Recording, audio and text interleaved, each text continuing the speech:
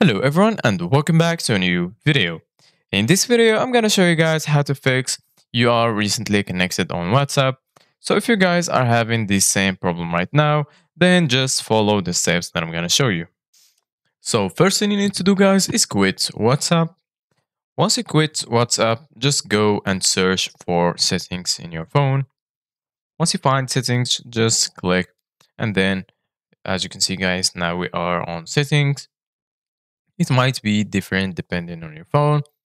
Once you're here in settings, just go ahead and search for applications.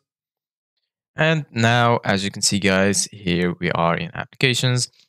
From here, you can find all of the applications that you installed on your phone. So what you need to do guys here is just browse for WhatsApp. So just scroll down until you find WhatsApp and here it is. Once you find WhatsApp, uh, as you can see guys, now we can change all the settings. So the first thing that you need to do guys is go to notifications. Once you click on notifications, make sure it's enabled and also check alerts and check the allow sound and vibration. And then go back and go to permissions and make sure you give WhatsApp all of the permissions.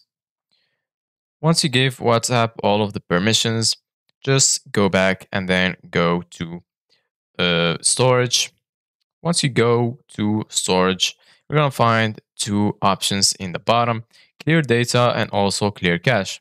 So what you need to do guys is clear your cache and then just go back and quit your settings once you quit settings, just go back to WhatsApp and see if it's working properly.